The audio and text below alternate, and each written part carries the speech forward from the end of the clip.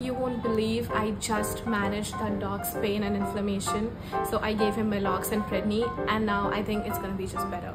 That is a perfect multimodal approach to invite GI perforations. NSAIDs, as we know, block COX-1 and COX-2. This reduces the prostaglandin synthesis, whereas our steroids are going to inhibit phospholipase A.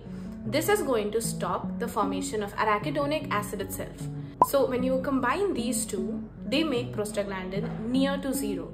Prostaglandin supports the epithelial repair, increases the blood flow, increases the mucus, increases bicarbonates and maintains the tight junctions. And when you remove all these factors, the gastric barrier collapses, making it much more easier for the gastric line to get perforated or ulcerated. Now in this condition, even the normal stomach acid becomes damaging.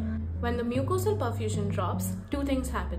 Ischemia, which leads to mucosal necrosis and no repair mechanism causing deeper erosions. Now this combination leads to a full thickness ulceration followed by perforation and then septic peritonitis.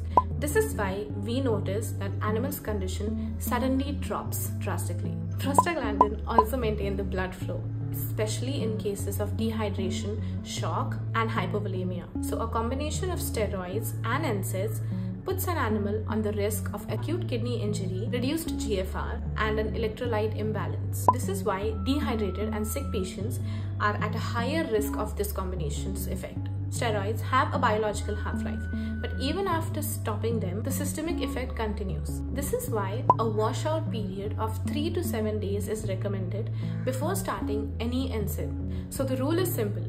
We never intentionally combine steroids and NSAIDs. But if we are forced to, that is only because the emergency is much more important and needs to be tackled than the risk of ulcers.